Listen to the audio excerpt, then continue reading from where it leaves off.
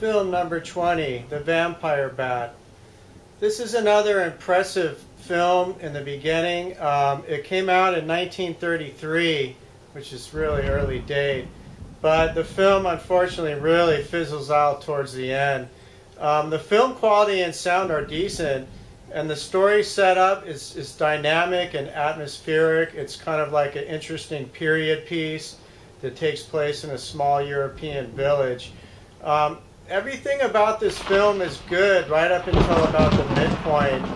Uh, but then the story really disappoints with various watered down explanations of why these um, things are occurring.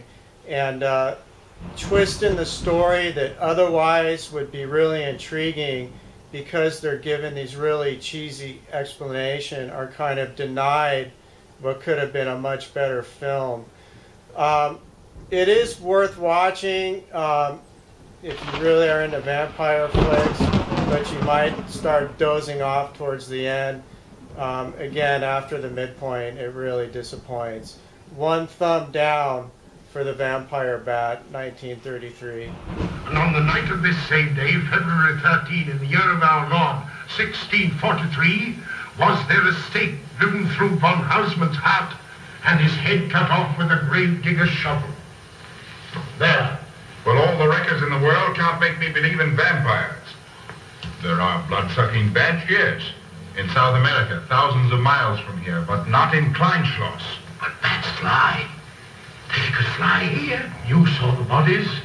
All of them. Two wounds on the neck, right at the jugular vein. Two wounds on the neck, pierced and spread apart just as two fang-like teeth had bitten through the flesh and right into the veins and in every case, a blood clot, eight inches from the victim's neck, the mark of the feast, the devil's signature. Does that appear the mark of a human being or a demon's? God save us, the devil's. You ought to make a pretty fair meal for a vampire.